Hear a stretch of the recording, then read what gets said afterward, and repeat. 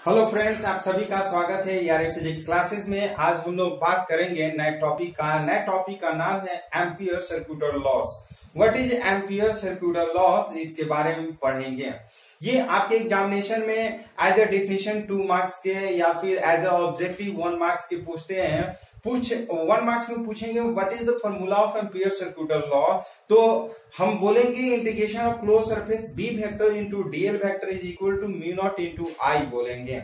But अगर definition की बात किया जाए कि what is the definition of ampere circuital law तो अकॉर्डिंग टू और फॉर्मूला आप डेफिनेशन याद कर सकते हैं। फॉर्मूला आप ध्यान से समझिएगा कि फॉर्मूला है integration of B vector into dl vector is equal to mu naught into I तो इस फॉर्मूले के अकॉर्डिंग हम डेफिनेशन बना सकते हैं। डेफिनेशन कैसे बनाएँगे? Means it states that Ampere circular law states that the line integral of the magnetic field. This is the line integral of the magnetic field around any closed path. ये जो है वो closed path को denote करता है it states that the line integral of magnetic field any closed path in free space is equal to is equal to absolute permeability this is the absolute permeability times uh, the net current passing through any closed surface enclosed by the closed path this is the formula that is the integration of B vector into dl vector is equal to mu naught into I. So again I repeat this definition of Ampere's circuital law. It states that the line integral of the magnetic field around any closed path in free space is equal to absolute permeability mu naught times the net current passing through any close surface enclose by the close path that is integration of B vector into d l vector is equal to mu naught into I कर लेते हैं अब इसी को prove करना हो तो कैसे प्रूव करेंगे? सपोज़ दैट ये लॉन्ग इंफिनाइट वायर है। ये लॉन्ग इंफिनाइट वायर है। इसको हम लोग करते क्या है? सबसे पहले इसको हम एक रेक्टेंगुलर बॉक्स में इसको रख लेते हैं। ये लॉन्ग इंफिनाइट वायर है जिसमें आई करंट फ्लो कर रहा है। इसमें आई करंट फ्लो कर रहा है। जैसे ही लॉन्ग इंफिनाइट वायर में आई करंट फ्लो करेगा, उसके राउंड में क्लोज पाथ एक सर्किल बन जाता है। दिस इज़ लाइक दिस ये सर्किल बन जाएगा। इस तरह से और इसमें आई करंट फ्लो कर रहा है। सपोज़ दैट इसका सेंटर पॉइंट ओ है और इसका रेडियस जो है स्मॉल ए है। तो इसके बारे में हम लोग पहले लिखते हैं। अब यहाँ पर जो इसका मैग्नेटिक फ़ील्ड होता है, और according to Ampere circular law means integration of close path of the magnetic field is equal to the mu naught means magnetic permeability mu naught times to the passing through the close surface electric current means free space is equal to the absolute permeability times that net current passing through this surface. जितना इस surface में current I flow करता है, उसके mu naught times के equal हो जाता है इंटीग्रेशन ऑफ़ मैग्नेटिक फ़ील्ड तो सबसे पहले इस फिगर की बात हम लोग लिख लेते हैं। कि consider an infinitely long straight conductor carrying current I this is the long straight conductor passing current capital I, the magnetic field lines are produced around the conductor as a concentrating circle. ये जो जैसे ही इसमें current I flow करता है इसमें एक around में concentrating circle का फॉर्मेशन कर जाता है दिस टाइप ऑफ़ ये चारों तरफ़ जो है मैग्नेटिक फ़ील्ड प्रोड्यूस हो जाता है। The magnetic field due to this current carrying infinite conductor at a distance small r अब इस due to current carrying conductor small a distance पे मैग्नेटिक फ़ील्ड हम लोग पढ़ चुके हैं। इसके पीछे वाले वीडियो में B is equal to mu naught by four pi into two I by small a इसको इक्वेशन वन कर लेते हैं। ये फॉर्मूला कहाँ से आया? ये ऑलरेडी हम लोग पीछे थ्योरी में पढ़ चुके हैं। यदि आप वो वीडियो नहीं देखे हैं तो उस वीडियो को ज़रूर देखिएगा। उसमें हम लोग पढ़े थे कि magnetic field due to infinitely long straight wire ये हम लोग थ्योरी पढ़े थे, उस थ्योरी में हमने प्रूव किया था B is equal to mu naught by four pi into two two I by small a तो ये तो हो गया हमारा magnetic field at a point यहाँ पर।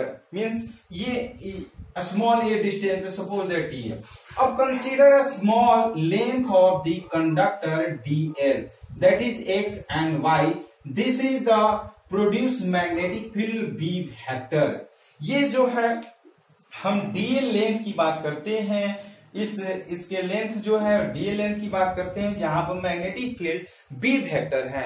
और जैसे ही ये मैग्नेटिक फ़ील्ड होता है, ये टेंजेंट वर्क करता है according to the length of the conductor ये टेंजेंट जो होते हैं, ये B vector on dl vector both aligns one side means it is only tangent on the circle tangent में हमेशा जो होता है थीटा का वैल्यू ज़ीरो हो जाता है तो हम इसको लिखते हैं since B vector into d l vector is equal to जैसे ये डॉट और वेक्टर को कैंसिल करते हैं तो हमें कॉस थीटा आता है। तो हम लिख सकते हैं B d l cos theta और since theta is equal to zero degree और यहाँ पर theta is equal to zero degree क्यों? क्योंकि डीएल जो है, वो बी वेक्टर के अकॉर्डिंग मीन्स एलाइन है टेंजेंट है। So theta is equal to zero degree so हम लिख सकते हैं B vector into d l vector is equal to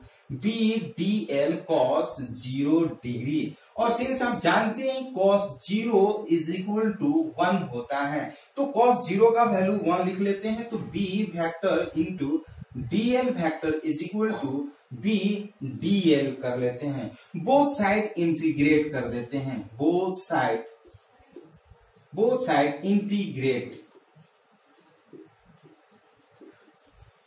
both side integrate करते हैं तो हम लिख सकते हैं integration of close surface B factor into d l factor is equal to integration of B B into dl from equation one की बात करते हैं फ्रॉम इक्वेशन फ़र्स्ट की बात करते हैं।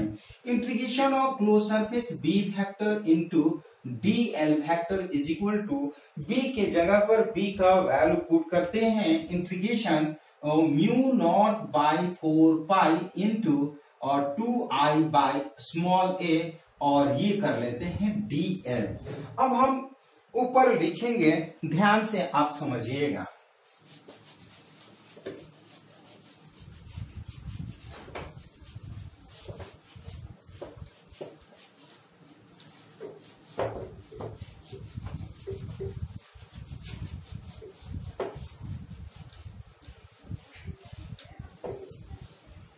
ये हम कर सकते हैं integration of close surface B vector into dl vector is equal to ये जो कांस्टेंट है, उसको बाहर निकाल लेते हैं। हम टोटल लेंथ की बात कर रहे हैं तो लेंथ छोड़कर बाकी टोटल जो होते हैं, वो कांस्टेंट हो जाते हैं।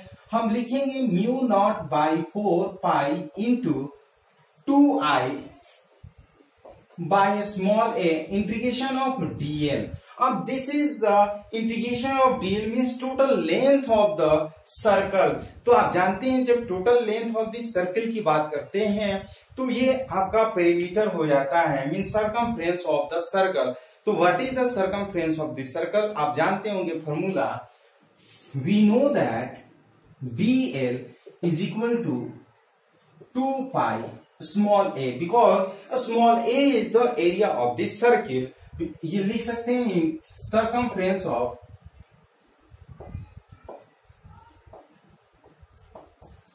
ऑफ़ सर्कल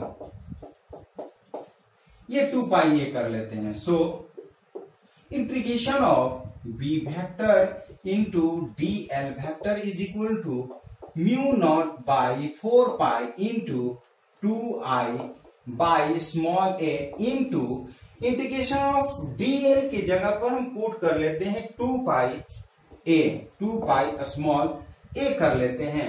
तो ये ए ए कैंसिल कर लेते हैं, ये पाई पाई कैंसिल करते हैं टू टू या फोर मीन्स ये फोर कैंसिल कर लेते हैं। तो इस तरह से integration of closed surface b vector into dl vector is equal to mu naught into I this is the proof of the ampere circular law formula ये एम्पियर सर्कुलर लॉ फॉर्मूले हमने प्रूव कर दिया। Integration of B vector into dl vector is equal to mu naught into I यहाँ पे सबसे special चीज़ें हैं कि ये जो है, यहाँ पर कोई रेडियस है नहीं, कोई डिस्टेंस नहीं है। Means Ampere circular law doesn't depend on any means figure of the means this type of means rectangle कह सकते हैं। It is it does not it doesn't depend on the circle cylinder square circle because it has not the side of any types of close surface किसी भी close surface का यहाँ पे कोई side नहीं है, कोई रेडियस नहीं है, कोई लेंथ नहीं है। सो so ये किसी पर डिपेंड नहीं करता है। Means it is freedom of all figure of the close path किसी भी क्लोज पाथ के फिगर से ये फ्रीडम है, वो किसी पर डिपेंड नहीं करता है। तो याद रखिएगा according to Ampere circular law integration of B vector into dl vector is equal to mu naught into I this is the formula of the Ampere circular law तो इस तरह से ये वीडियो आपको कैसा लगा? ये एम्पियर सर्कुलर लॉ का। ये, यदि वीडियो अच्छा लगा तो लाइक शेयर कमेंट ज़रूर करिए। और यदि आप हमारे नए व्यूअर हैं तो इस चैनल को ज़रूर सब्सक्राइब करिए, क्योंकि हम लोग नए नए टॉपिक के साथ आपसे फिर मुलाकात करते रहेंगे इसी तरह से। तो बने रहिए, फिर हम लोग नए टॉपिक के साथ